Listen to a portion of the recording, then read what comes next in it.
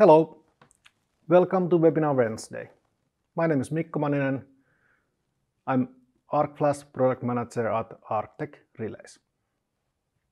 Today, uh, I will tell you about uh, our latest AQ100 series member, AQ103, and also its connectivity to our S254 or any other Modbus master system. Welcome to listen webinar, and uh, hope you enjoy it. First, uh, introduction uh, to the AQ103 product lines. There are two product lines. One of them is for the MV, medium voltage applications, and one of them it is designed for the low voltage applications. There are not much difference, but the low voltage application, it is designed for the easy low voltage applications like um, one main incomer, main tie main, and uh, main main applications. And uh, then this uh, medium voltage version, AQ103, is designed for the more complex uh, applications, and also there is a full feeder selectivity, up to four feeders each relay, and then full feeder selectivity also with the master trip.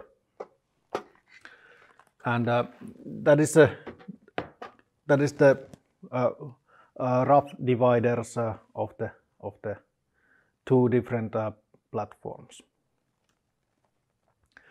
So this AQ103 medium voltage belongs to the well-proven AQ100 series, and it's one newest member of that family.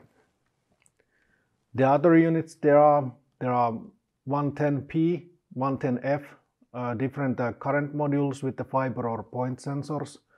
And then there are different type of uh, DIN rail and flush-mounted point sensor and fiber sensor modules. Also since uh, November, Arcteq as a sole partner for Siemens, also this uh, Siemens AQD, uh, sequence AQD, which operates together with the AQ100 series products. Medium voltages and then another platform, AQ100 series for the low voltage applications. And not to mention from here, um, very similar uh, setup, uh, current uh, with fiber point sensors and DIN rail mounted, flush mounted, and of course, well-known AQ1000 arc quenching unit. Only one, only resettable quenching unit in the market. One Uh, thing to mention here is that the AQ103 do have 14 individual sensors. We can mount point sensors, 14 point sensors, and we can know the exact location where the fault occurred. This is important new feature, and uh, we can, we can of course, with the Modbus communication, we can send that information, we can use that information and send that forward to the upstream systems. Point sensors, our standard point sensor, AQ01, up to 200 meter lines, definitely enough to most applications. Uh, typical applications are uh, about 10 to 20 meters, sometimes less than 10 meters. and and 200 meters is definitely enough, even the most difficult applications. For example, for example, uh, it has been used, uh, long distances has been used, for example, in hydro plants, where the generator is very far far away, and this long distance to the relay itself can help to to provide application also for that. And another type of sensor, pressure and light sensor. And uh, this one is a, a very nice uh, uh, type of sensor. It is a identical light sensor than AQ01 with exception that this has double criteria. And double criteria means that uh, sometimes we use light only applications, sometimes we use current and light applications. And uh, there are locations that this current sensing is not possible. And in those cases, you can use pressure sensor as a double criteria. Fiber sensors, our fiber sensors always are loop sensors up to 40, actually sometimes AQ07 even to 50 meters. And uh, yeah, very good to use, for example, low voltage bus bars. Sometimes low voltage uh, feeders. Uh, sometimes in medium voltage when, when we are talking about metal enclosed switch gears. And uh, metal enclosed, when the bus bar is open, this can be used, for example, in the bus bar compartment. And it's very easy, easy also in uh, retrofit uh, applications, retrofit projects. A few words about the simplicity of this new AQ103 few tips and, and good to know, know uh, every unit has own power supply. That actually increases the scalability of the system. When you don't need to think about that is there enough power to supply big systems, don't worry, there is. This has a own power supply. You can have multiple big massive systems and that they will supply enough, enough power for each unit. Uh, power, two different types, small and big power supply. Small one is DC only, up to 72 volts DC. And the big one is uh, then AC-DC power supply, up to 265. Unit can be used uh, also as a standalone or big system and it's very, very easy to commission. Uh, installation method is well known.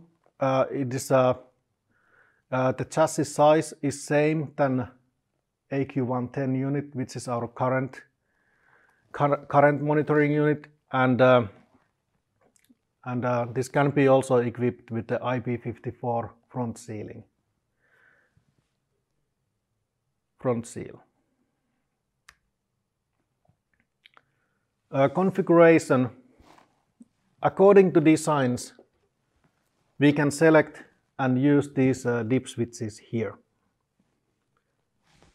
We have two types. We have Modbus and if we have without Modbus we only have one switch group here, switch group 1 and if Modbus then we have also this one and according to designs set these uh, switches install all the sensors and then push this button for the 3 seconds and then we are good to go.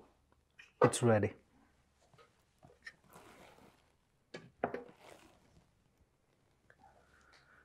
Like here uh, mentioned uh, that we we have a uh, we have a standard address for the Modbus. Uh, we have a standard address uh, 20 always. And then with the dip switches we can add plus 1, plus 2, plus 4, plus 8 depending of the dip switch uh, selected. And so on we can have addresses from 20 to 35. I will tell more about that later. And then uh, latch functions to trip outputs and high-speed output and uh, blocking function always al also available in the dip switches. But the main thing is that uh, very easy to commissioning dip switches and set button and it's fully supervised. About the scalability, uh, very simple, very, very easy application here. One low voltage panel, one main incomer, few sensors. I, I would say that this only takes like a few minutes to do all the settings.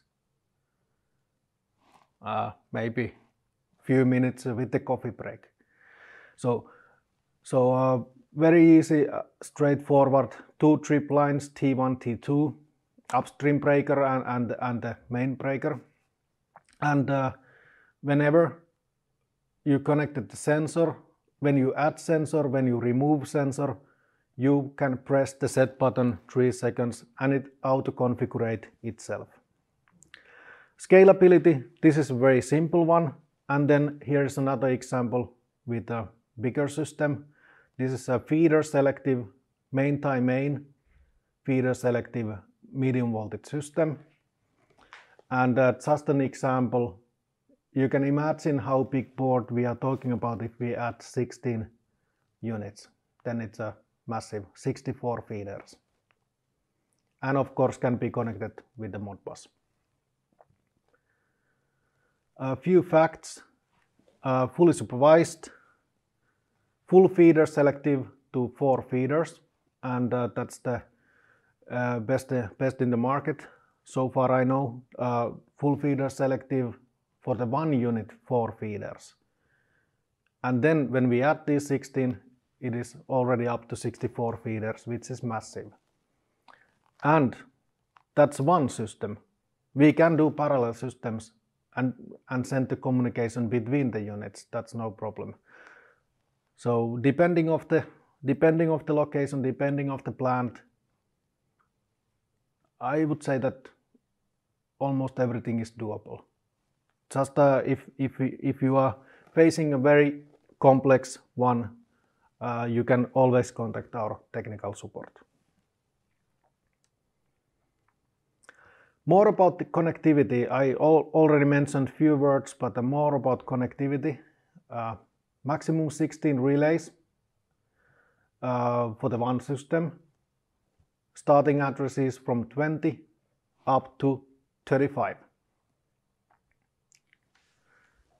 And the last one in line, you should add resistor at the end of the line and the terminate, termination resistor is always with the unit. So just connect plus and minus parallel to that resistor and then, then it's uh, fine. Max one kilometer, which is uh, it's, it's supposed to be good enough and uh, can be connected to S254 Modbus master. Uh, 14 individual sensors, for example these point sensors here, and uh, up to 200 meter line, li little bit, uh, uh, I say few few times, uh, but uh, good to remind good to remind that 14 sensors, individual sensors. If we lose one of the sensor because of the cable cut or anything, then we will get an alarm, and we can forward that alarm to the systems. A binary input always current input. If we have a current monitoring unit, we can we can send the signal to this binary input 1. Binary input 2, light input or master trip. We can uh, send light information output uh, with the vetted 24 volts internal supply.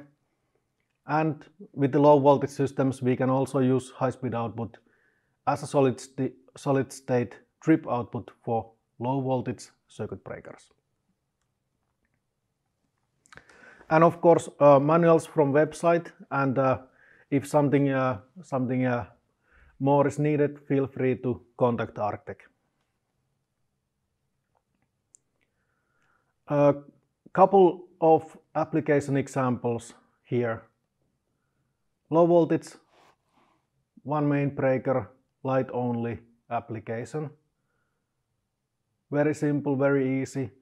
Uh, in this case, the right hand side 103, if there is any light signal, any of the sensors active, it will send the signal to the left side, AQ103, which will make the trip output active to T1 and T2. Quite small application, very standard application.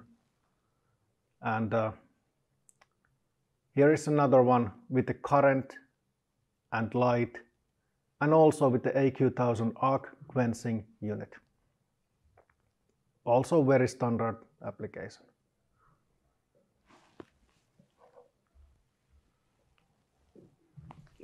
These red dots here are closed breakers. And just to give an idea, if there's a flash, for example, there on one of the feeders, then we will open these two breakers. And another one, AQ103 application, which is uh, feeder selective, Modbus connected to the S254 and upstream system. Then uh, feeder selective means if we have all these breakers closed, let's say that this is normal daily operation of the plant. One of the cable explodes because of the arc flash.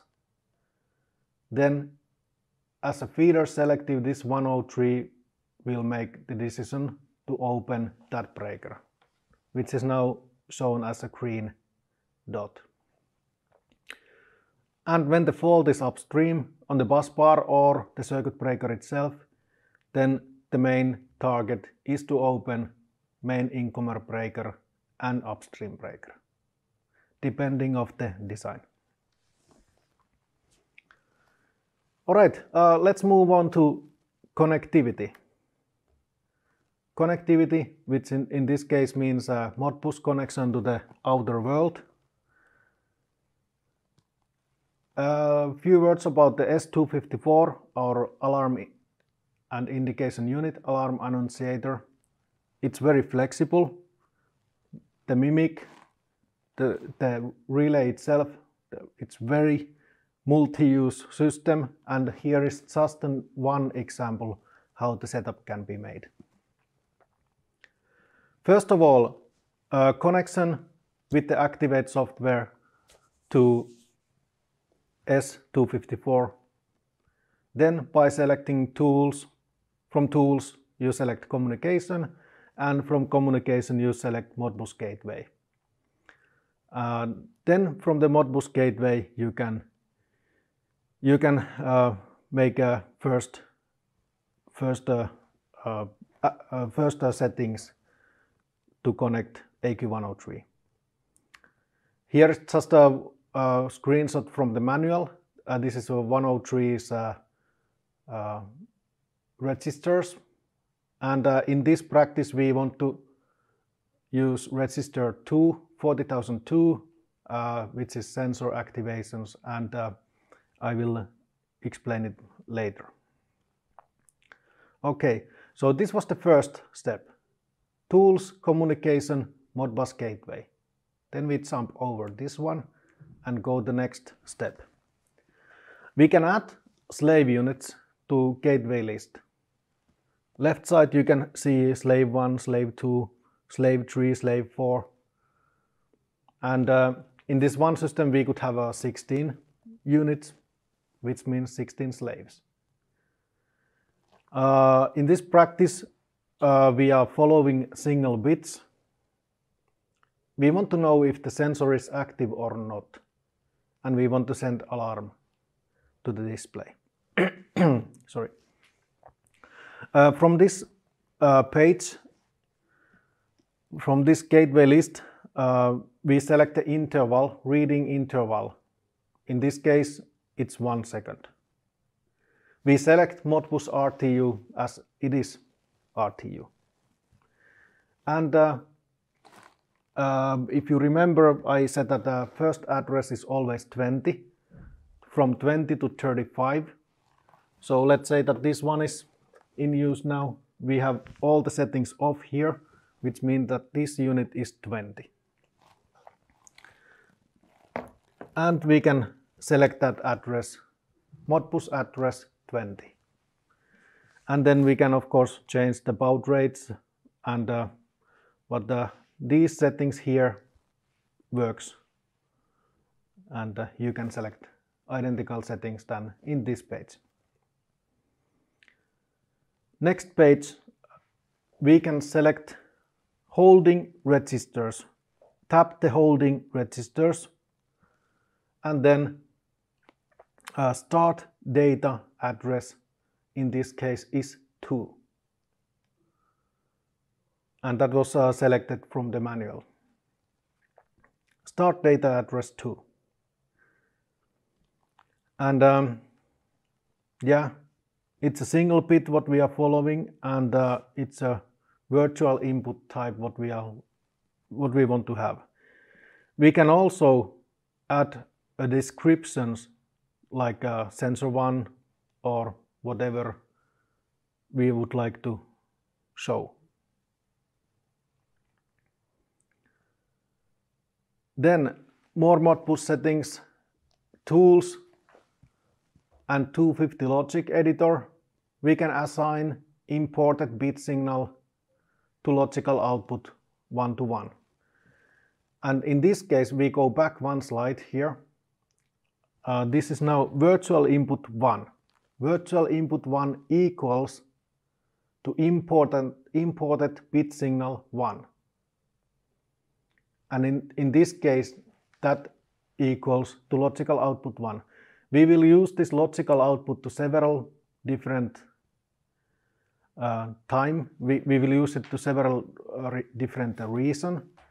And uh, just to just to give an idea that we can uh, multiply these imported bit inputs uh, signals 1, 2, 3, 4, 5, 6 and so on and just uh, one to one copy that to logical output. Quite simple. In here is an example how to use the logical output. We can use the logical output, we can open from the control we can open device I.O., alarm settings, and for example alarms 1 to 16. And so on we can assign these logical outputs to alarms 1, 2 and so on. In this case, logical output 1 is assigned to alarm 1 and that alarm will be shown on the display on top left corner, which is always alarm 1. You can also add many conditions. You can add many conditions, uh, different colors and so on. Uh, in this case, sensor activation is red. If the S254 is resetted, acknowledged the uh, activation, but the sensor is still active, then it's yellow. Just also to give an idea of the flexibility. This kind of alarm display, alarm annunciator has been, uh, market has required something like this unit many, many years. And um, now, now we have a nice product to support, support uh, also other, other type of use than AQ100, but for this AQ103 it's also perfect. Uh, then uh, Flexible mimic setting.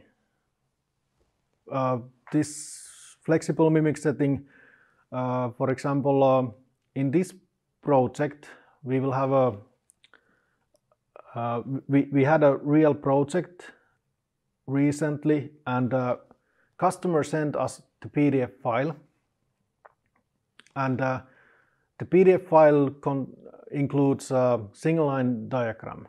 So we actually just convert that to PNG file and we use that as a background of the mimic. And it looks very good. So uh, what we can do, we, we, we can do from the carousel designer, we can do different type of mimics. Uh, in this case, we, we can uh, change, uh, we selected alarm tab. And from the alarm tab, we can select different type of colors. For example, these red and yellow colors and uh, by adding this background mimic, what I said a minute ago, uh, we add item by right click this uh, mimic screen. Right click, add item, and you can import any PNG file. But in this case, we used a PDF file, and uh, it was actually quite uh, quite uh, amazing how how easy it is to use, easy to adjust to fit the screen, and then after this, we wanted to also show different sensors, where the sensors are located, sensor numbers, and if there's a flash, if the sensor has activated or not. And how we did that? We, we, we used the same logic output like earlier. We add another image called sensor it can be any name, but uh, in this case, uh, let's say that it's called sensor. Uh, and it's PNG file. And then we set up that logical output 1 when the value is 0. Then we are showing the sensor image. And if the value is 1, we add another image called flash when the value is 1, same logical output again. Logical output 1, when it's true, 1, then we will show that there is arc fault. That's, that's all. That's all. Uh, now we will show short video of the first installation. Thank you and see you next time. Bye bye.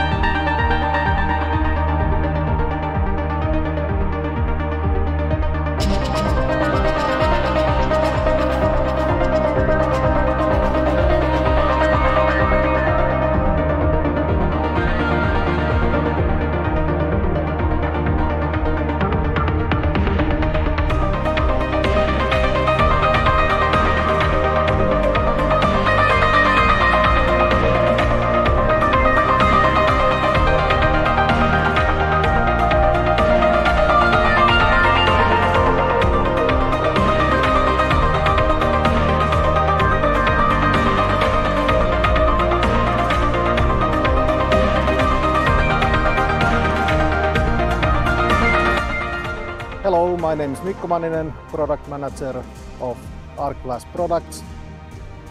Welcome to Kortesjärvi Substations. Uh, This is a first installation for AQ103 Arc Flash protection relay and also Modbus communication to S254 alarm annunciator. Now I will walk you through the commissioning. Welcome.